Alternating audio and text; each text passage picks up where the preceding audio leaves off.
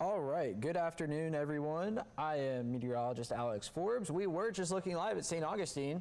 Uh, oh, there it is. Okay. I, I, was about to say, I think we just lost the camera. I think we did lose it there for a second, lost the signal, but we are looking at storm surge from Tropical Storm Nicole, which is already bringing wind and rain to Florida, and we'll be bringing that to Georgia here fairly quickly as we get into the afternoon hours. So uh, we've got a lot to talk about in terms of impacts here in central Georgia. Let's take a look at the radar and what's going on right now.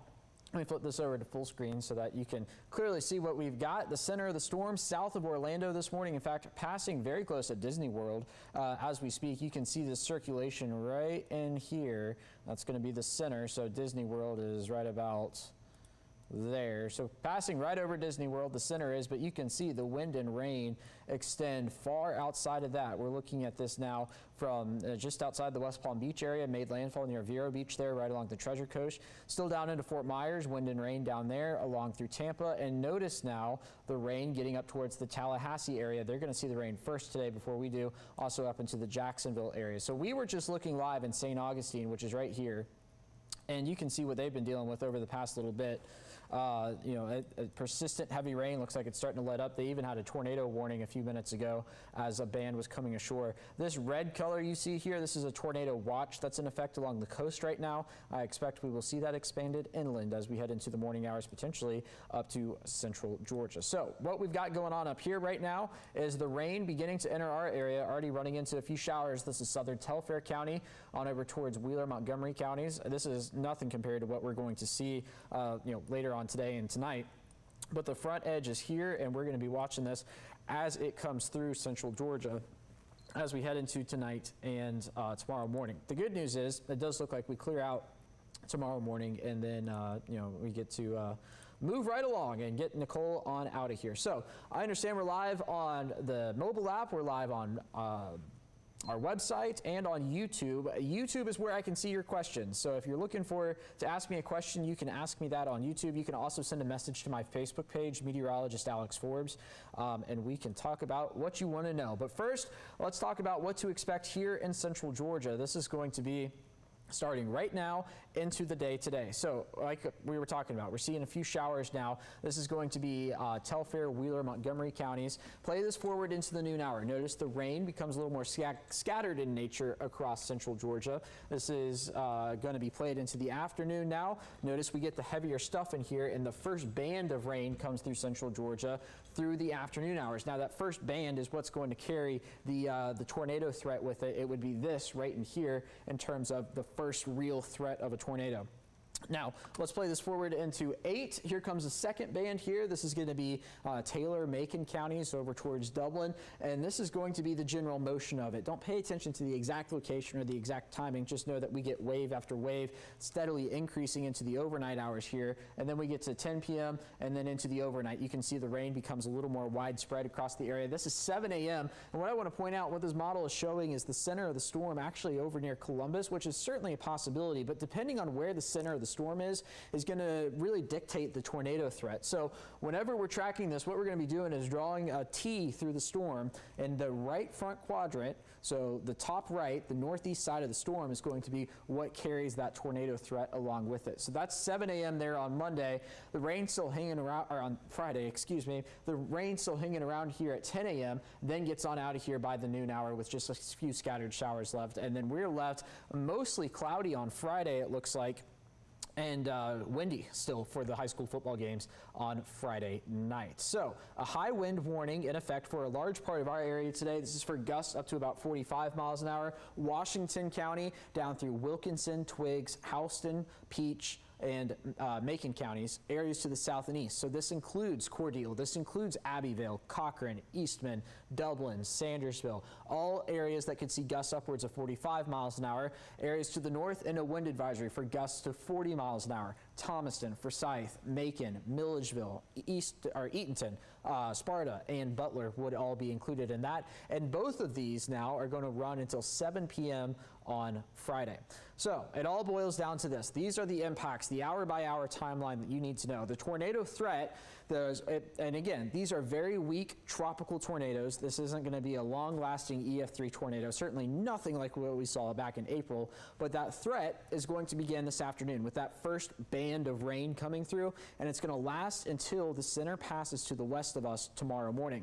The damaging wind threat will be amplified through the overnight hours as the center moves closer and passes by. That will come to an end tomorrow morning as well. And then the flooding threat. Now, our soil is very dry across central Georgia, and because it's so dry, if you get a lot of rain very quickly, it can only absorb so much before you get the runoff. So we're going to be watching for that. Now, something, a, a factor that's at play here that I really want to watch closely is one, the wind we have a lot of loose leaves on the trees and the wind is going to knock them down you know, what it looks like outside this morning is not what it's going to be what it looks like by Saturday because the wind is going to be blowing and knocking those leaves down. But the, the combination of that and the rain, I'm somewhat concerned for stormwater runoff, uh, any leaves clogging up drains. I do think that is going to be a distinct possibility as we hold, head down into the next few days. Also concerned about power outages. Um, you know, we have a lot of trees around, a lot of pine trees around central Georgia. You could probably knock those over with one tap of a finger. Um, so that is uh, something we are watching watching for closely. The good news is, though, we do clear out by the weekend, Saturday and Sunday. Hello, 50s. It's going to feel much cooler in here. Another 40% chance of rain there on Tuesday. So we have got uh, you know a lot going on right now here in the Weather Center and uh, we're going to continue to watch this as we roll through the day today. So let's hop back over to the radar and talk about what's going on right now um, because you know this is so much not so much a forecast anymore than it is now casting.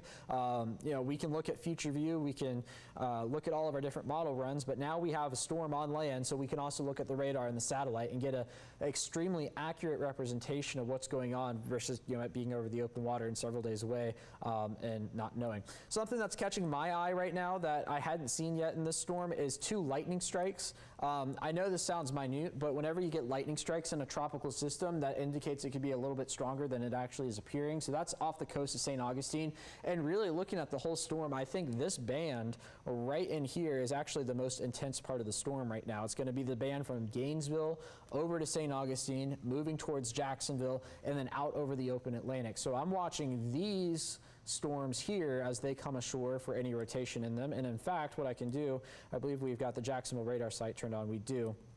I can hop over here and see if, yeah, so, you know, I, I'm seeing rotation in these storms that are out over the open Atlantic. So, you know, if you need any validation as to the tornado threat today, we're seeing that now because we are quite physically seeing the, uh, the rotation in the storm. There's one there. Here's another broader one here. It looks like there's one right about there, um, another one here, and another one there. Uh, so when I flip this back over to velocity, you can see that lines up with those individual storms. So I suspect we will see tornado warnings along uh, the Jacksonville coast, the, the, Georgia coast in short order. But again, this is the band that's coming up into central Georgia as we head through the day today, and we are already seeing the validation of that. A tornado watch is in effect from Flagler County uh, up through St. Johns, Duval, and it looks like up through Glynn.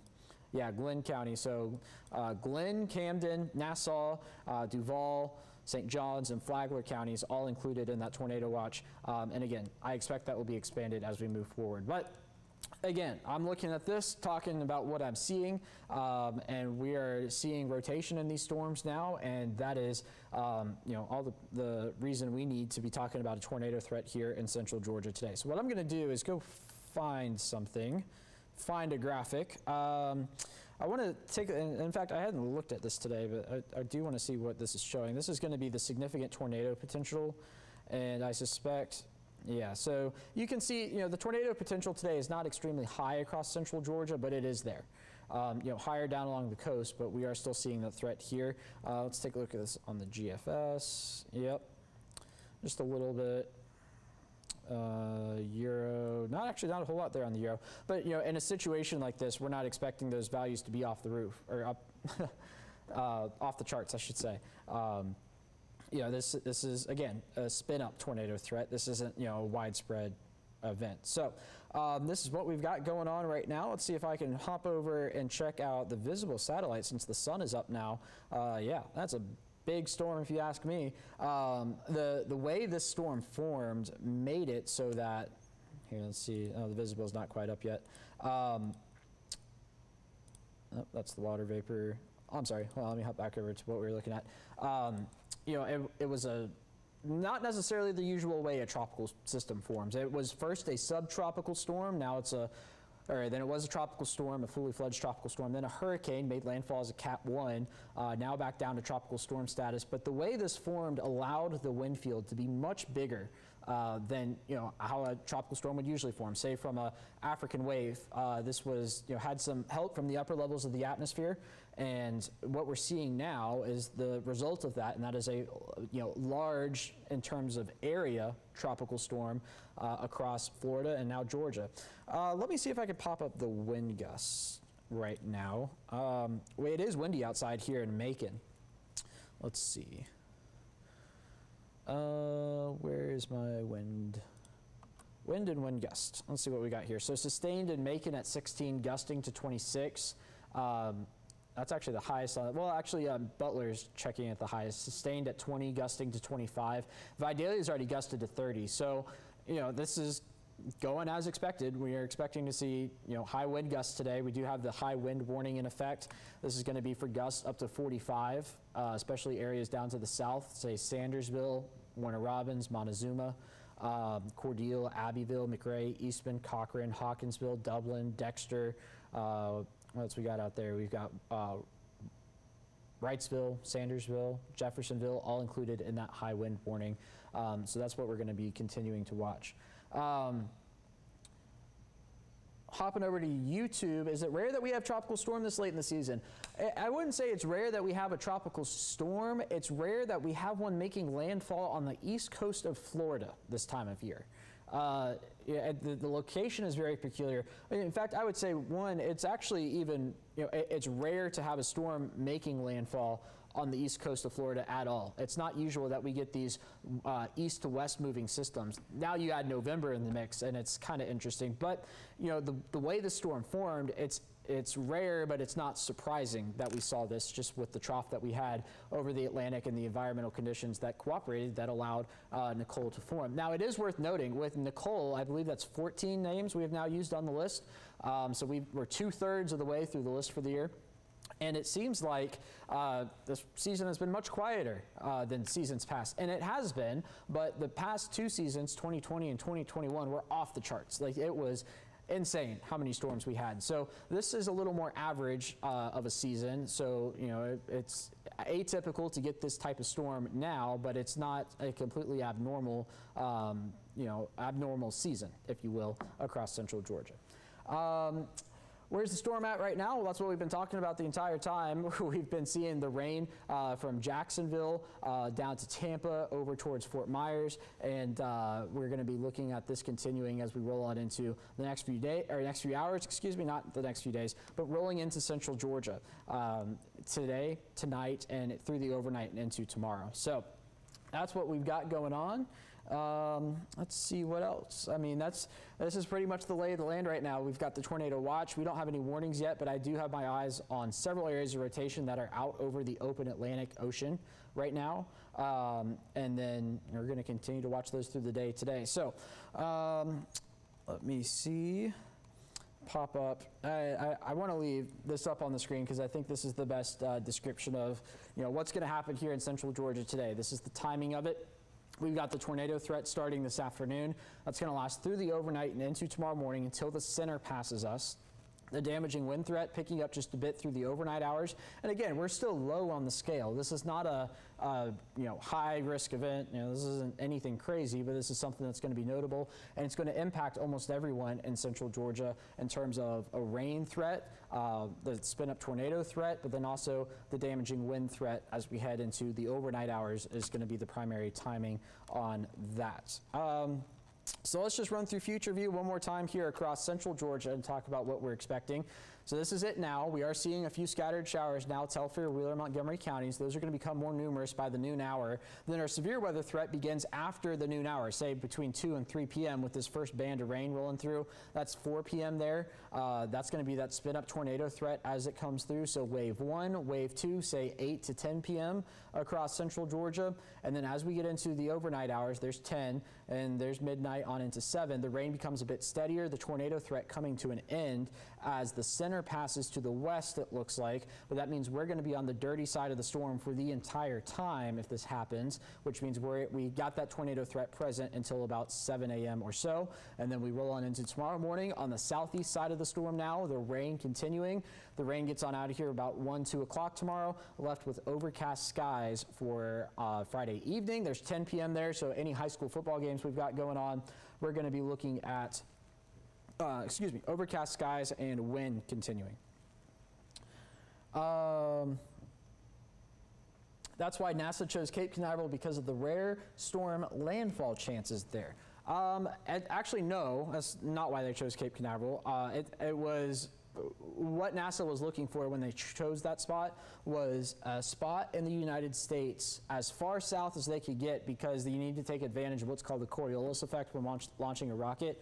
So Cape Canaveral at the time when they were looking for a place was undeveloped, and that's why they chose the spot was because it was uh, pretty far south and they needed to be down there. So it was just uh, what was available to them and what they needed. Um, but you know, honestly, if you're looking for you know Cape Canaveral in terms of a tropical spot is not that great because even though you don't get direct hit from hur- hurricanes, you typically get them coming by there. Uh, mine goes back to Hurricane Matthew.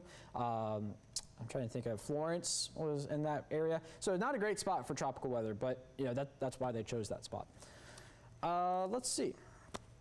So, um, that's, that's about it. I think I've gone through just about everything. So, uh, through the day today, of course, stick with 13 WMAZ for updates on uh, Tropical Storm Nicole here as it moves towards central Georgia. Uh, we're going to be sitting here tracking this all day long, all night long, all morning tomorrow. Uh, we'll have extensive coverage for you there. Uh, we've got our midday newscast coming up at 12 p.m. Uh, and then news at 5, 6, 10, and 11 tonight, followed by 13 WMAZ morning starting at 5 tomorrow uh, here in central Georgia. And we'll be sure to let you know everything that you need to know. All right, everyone, thank you for watching and have a great day. Of course, if you have any other questions, you can shoot me a message on Facebook. Just search meteorologist Alex Forbes. All right, everyone, see you later.